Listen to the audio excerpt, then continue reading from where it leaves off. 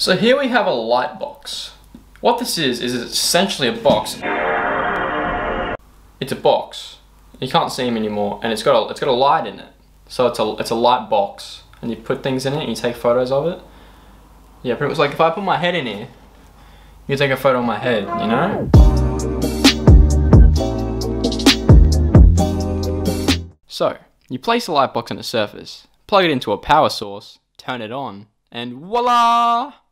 You have the perfect little studio for some product photography. To show you what it can do, we have brought in three wonderful products to photograph. Here we have our first contestant, water. Now to save all your time, I'm just going to be honest and say this worked out. Next product. For our second product, I chose some perfume. At, at uh, man cologne, sorry, man cologne. As well as some of the normal shots that I got, I decided to try and get creative.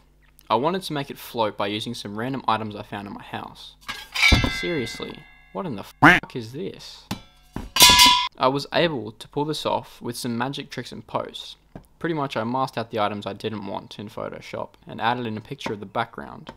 If you want a detailed look into how I did this, then please leave a comment or answer the card in the top right. The third product that got the privilege of being in the box was my lens. This was a pretty boring item, but I have to say it still looks fantastic with this lighting. It looks very professional, very good, much wow. Pretty much that's it. Look at all these photos. Wow, wow, wow, wow. The final product that I photographed was the Xbox controller, and I don't even know what to say.